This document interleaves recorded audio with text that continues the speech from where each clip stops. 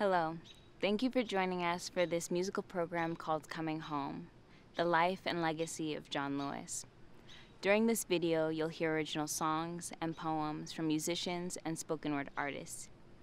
Each have been inspired by Congressman John Lewis, the history of the civil rights movement, and what these two things mean in today's context. As you listen, we hope that you consider the gifts that you have and how you can make an impact in your own community. Without further ado, please sit back and enjoy the program. Song 1 Dear Freedom. Inspired by the memoir Walking with the Wind, comic book series March, and other civil rights artifacts, I wrote this song in memory of the ordinary people who sacrificed their lives throughout the civil rights movement. Without the continuous sacrifices, deliberate actions, and selflessness of ordinary people in events like Bloody Sunday, the March on Washington, Freedom Ride Summer, and sit ins, the United States would not be where it is today.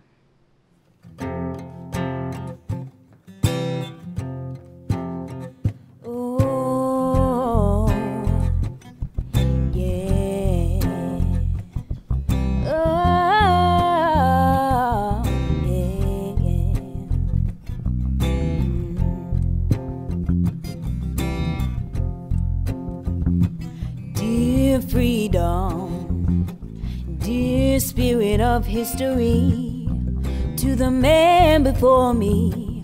Oh, it is no mystery what you've done in the past. We've come to see at last, so we salute you for what you've done for us, dear freedom.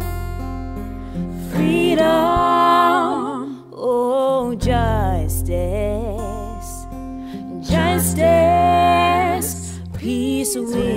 us. In God we trust. Yeah. Oh, yeah, yeah.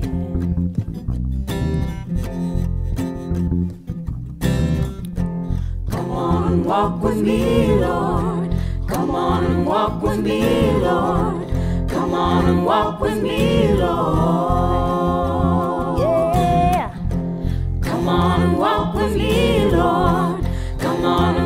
With me, Lord. Come on and walk with me, Lord. For the beloved community, you gave up your opportunity. Stepped down on one knee and looked out to thee. Beyond yourself, you love one another. Took the shot for your brother. Standing where I am today because the price your body made. So I pray that today, as we remember the past, we hold on to your name and say freedom at last. We saw your persistence and all your resilience, how you shaped our future ambitions. So let us not forget who we left behind, our ancestors and why they cried.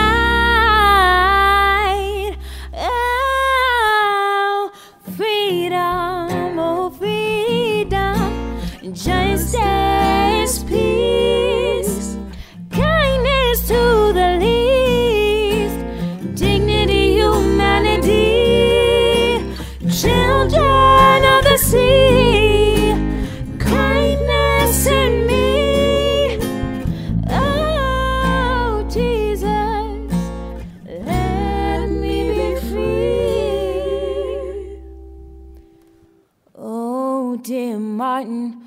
What would you say if you saw this stream and the scene today? Would you lay down to rest or would you stand up and fight? What shall be the end of this holy night? As we sing freedom, oh freedom, justice, peace, kindness to the least, dignity, humanity, children of the sea kindness in me. Oh, Jesus,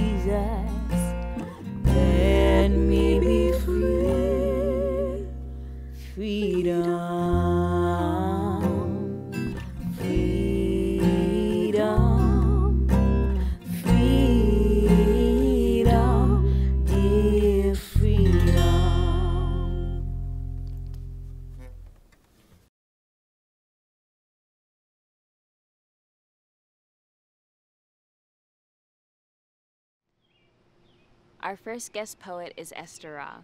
Esther is a Pushcart Prize winning South Korean poet whose work has been published in Boulevard, Rattle, The Rumpus, and the Korean Times. She's an advocate for North Korean refugees and the founding editor of the Underwater Railroad, an international literary reunification project. She's received awards including the 49th Parallel Award for Poetry and the Woman Writing War Poetry Award. Hello everyone, my name is Esther Ra and I'm so honored to be a part of this special celebration today. I'll be sharing two poems with you. Um, the first is a poem I wrote while reflecting on what's been a terrible year for many of us, what with the pandemic and everything else that's been going on around the world. I wanted to reflect on the sense of almost stubborn, beautiful hope that John Lewis and many other civil rights leaders inspired in many generations, despite the dark times they lived through. The title of this poem is From Stone to a Stub of Crushed Jewels.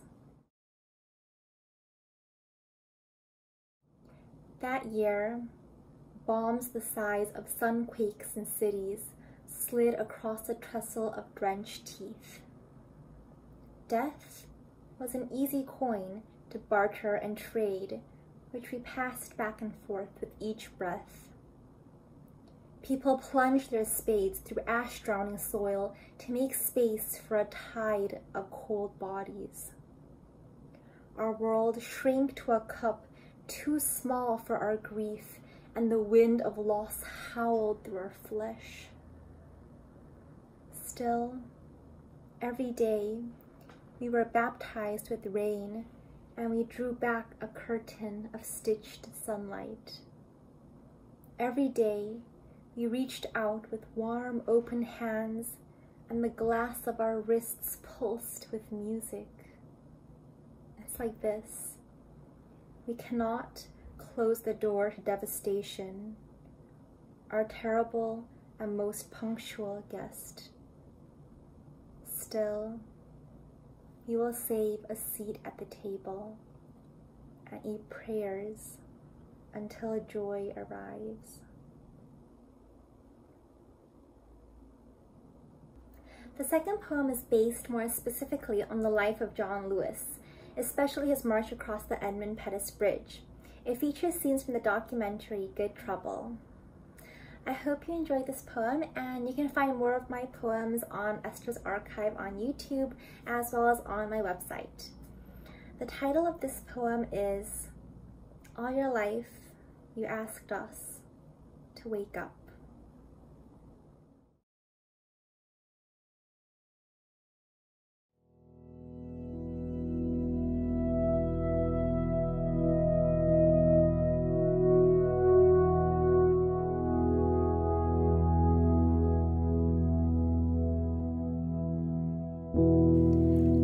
Is no music like the sound of feet marching forward in hope. First, soft, like a cloud the size of a hand. Then, the rich thunder of a dream of rain deferred. What does it take to hammer open a pale spring sky? Watch the water flow down to a nation run dry of its conscience takes men willing to swim through a river of tear gas and time.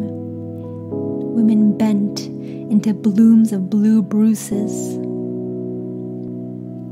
The people clapped hands over their ears, and you still preach the glory of sunrise to every flightless bird in your path. They clapped hands over your mouth, and the stones cried out in protest and praise. They swung nightsticks and billy clubs, cracked skulls and beat flesh, and you shaped every weapon to a bright fistful of sun. If freedom is a shore of some day on the other side of this trial called life, we are still walking over troubled waters on the rocks that were hurled at your name too many have suffered and struggled, set stone upon stone with torn hands, for anyone to turn back and run now. And although I have not your wisdom or years, your own past or your pain, your beauty and fears. I pledge the music of my feet to stand and march with you here. As your courage lit flames across the huddling world, may this world be your neighbor, your beloved community. When one of your people are wounded, may we all lose our breath from the blow. When injustice strikes you upon the face, may you not have to look up alone. All your life, you asked us, all of us, to wake up and go on. And your courage split open the sky. Maybe listen, O world, and get in good trouble. Maybe lift up our mouths and taste rain.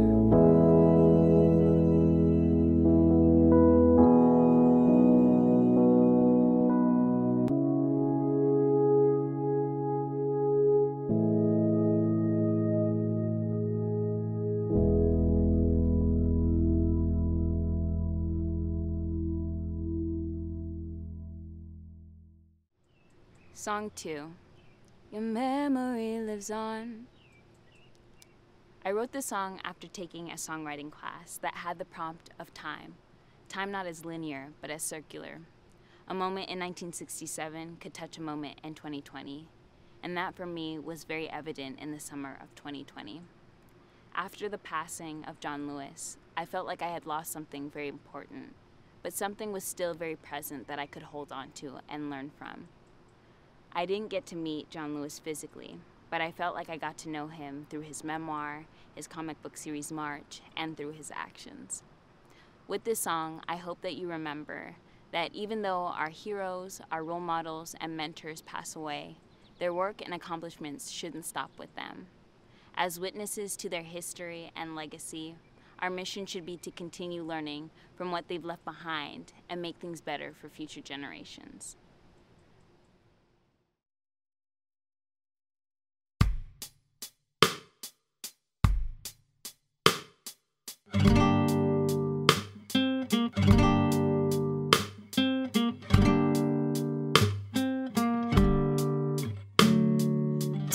Such a strange thing.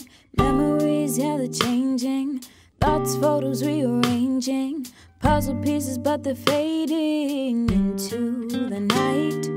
Oh, what a sight. Oh, take flight into the night. Time's such a strange thing. Memories, yeah, they're changing. Thoughts, photos rearranging. Puzzle pieces, but they're fading into the night. Oh, what a sight! Oh, take flight into the night. Memories of you, memories of me. Oh, I can't explain why I captured this certain moment of you in my brain. It's like an old refrain and it's lingering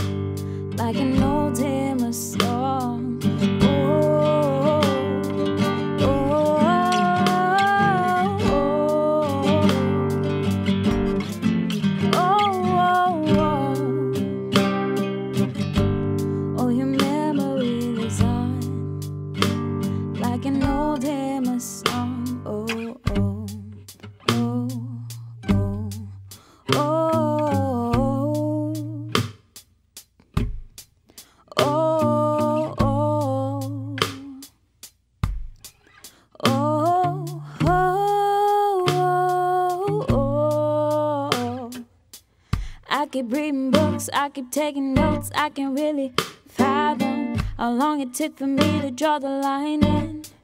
Reimagine the world I occupy and deny the right to my soul. That's my island. Don't touch me, cause you don't know where I'm going. Memories keep flowing, pages, yeah, they're turning. I'm learning and sowing in the earth I'm cultivating. My garden for my children and my children's children. We call it legacy, creativity, hard work. Yes, that's my history. Oh,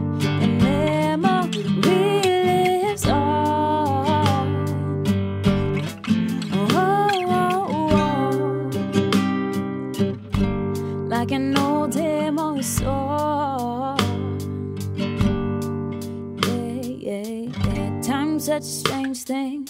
Memories, yeah, they're changing. Thoughts, photos rearranging. Puzzle pieces, but they're fading into the night. Oh, what a sight. Oh, take flight into the night. Time's such a strange thing. Memories, yeah, they're changing. Thoughts, photos rearranging. Puzzle pieces, but they're fading into the night. Oh, what a sight. Oh, take flight into the night. Oh, your memory lives on. Your memory lives on. Oh, like an old demo song.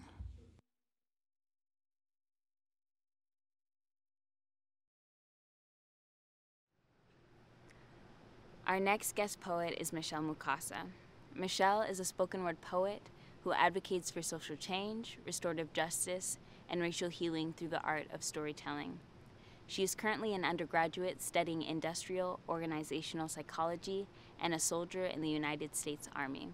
I hope you enjoy her original spoken word piece.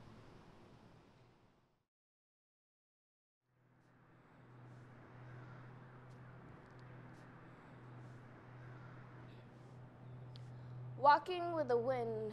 My hero may be gone somewhere walking with the wind, but something still resides within. His legacy lives on like a freedom song, like a march for freedom. His life as a reflective light. He would pass down the torch, so we'd storm the streets. We'd paint the pavement in solidarity. We'd paint our streets. We'd let the embers of our rage kindle in fury with a light so bright that the flame lit every city. And on that day, they would remember my brothers and sisters by name because our black lives matter. Because we believe in a dream that one day your children and my children will walk in the hopes that we will truly be free. Like the boy from Troy spoke with wise words of dignity for those who have died, who have lost their lives, so others might be free, you deserve to be honored by our country. For the raw courage and patriotism, we honor you, John Lewis, and his memory lives on. You know, John Lewis stood with unbreakable perseverance, like a freedom rider sitting on the bus down south, practicing the right to be sitting in lunch counters, being beaten down, brutalized, thrown in jail over Trump charges. He was a leader in Selma for voting rights, the youngest speaker on the March on Washington fighting for jobs and freedom rights a member of Congress, challenging the written decree with restorative justice for past, present, and future. He was a saint indeed. May he rest in power. In my culture, death is not the end because we pass down the torch rather a beginning as we start running this race together of nonviolent resistance and civil disobedience as a means to stir up good trouble. So let this be your beginning. Let you pick up where he left off. See, the March on Washington in 1963, John Lewis spoke of liberties appreciating some of the bills and policies passed, but shining a light on nothing done for the young children and old women forced to face police dogs and fire hoses in the South as they engaged in peaceful demonstrations. And 59 years later, From John Lewis speaking on the March on Washington in 1963, 59 years later, we are still demanding some of the similar liberties. We are still demanding the protection of young children, the wall of moms with arms interlinked together to face police tear gas and rubber bullets across the nation in peaceful protest. See, death could not be an end, it is a beginning. Because the same ones who believed the civil rights movement was years ago woke up to a national outcry of generational trauma, a revolution, for black liberation was never a new concept. Just one delayed and heavily denied, our neighbors constantly turning a blind eye like a nation continuing to press the snooze. But justice delayed is justice denied, so there is a call for decency, dignity, and a sense of brotherhood, a sisterhood. So wake up. Wake up, America. We cannot stop. We will not and cannot be patient because 59 years later, we are still demanding liberty. And somewhere I heard it cannot be done. But I know of a story of a 21 year old young boy from Troy riding on the bus down south, fighting for freedom, risking his life so that I didn't have to grow up seeing those signs of white only and black only and segregated lines. He said that you know the only place that our children and your children would see those signs would be in a book, a museum, or on a video, so I will not wait. Because John Lewis changed the laws hearts and minds of people. He changed the world. So we will not stop until the only place that our children and their children will see a black man gasping for air like George Floyd, a black woman killed in her own home like Breonna Taylor, a black boy killed for wearing a hoodie and Skittles like Trayvon Martin, a black girl murdered in her sleep like Aiyana Jones, a black man murdered for jogging in his neighborhood like Ahmaud Arbery, a black girl murdered in police custody like Sandra Bland.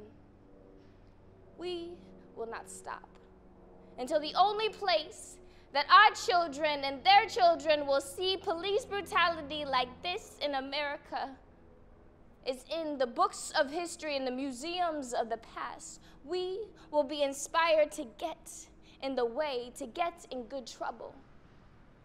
So we march in the spirit of truth, with the spirit of love and dignity. Because we know, as those who came before us, that this is America. So even when the storms came in, we would bind together our hands, intertwined, held tightly together, woven together to reflect a beloved community. For the steady hope that one day our children could all stand alongside one another, holding hands, walking with the wind. So as they once sang, we also continue to sing. We shall overcome.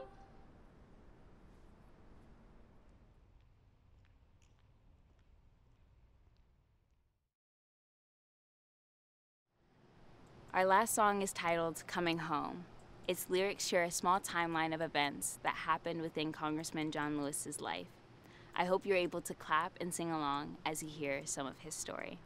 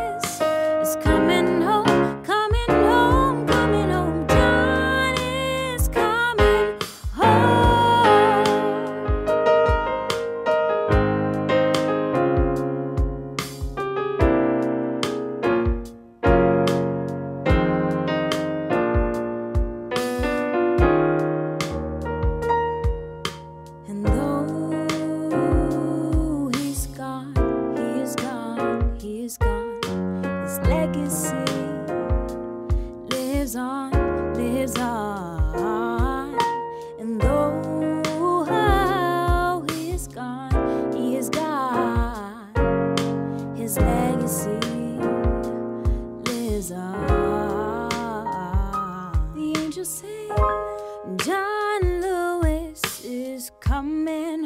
Oh,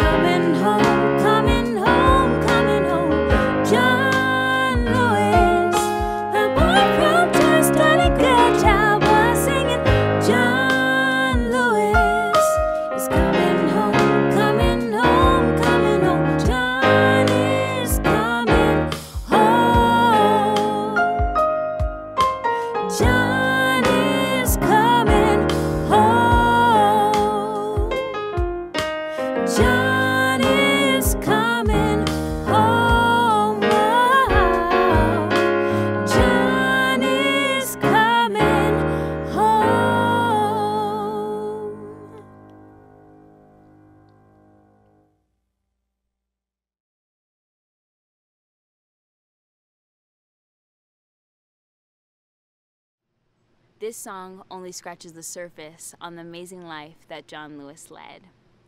Please take time to read one of his many books and learn more about the civil rights activists who shaped U.S. history.